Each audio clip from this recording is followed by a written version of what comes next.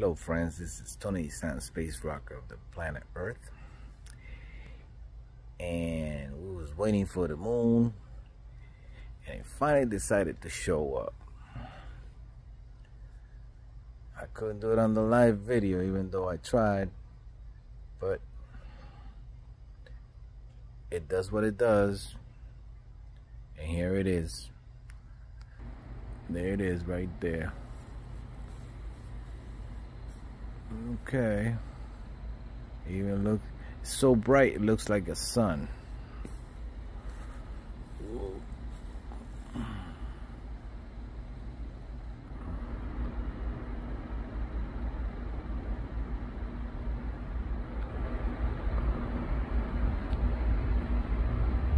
That's how it looks. It's really bright.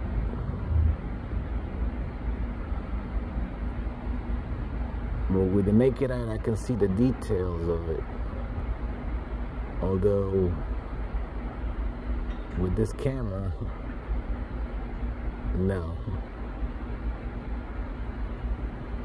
But it's an amazing sight.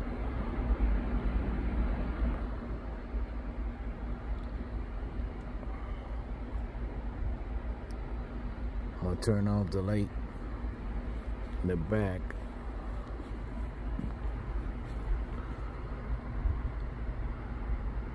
Wow, look at that. Admirable. Yes. August 1st, 2023. The first supermoon.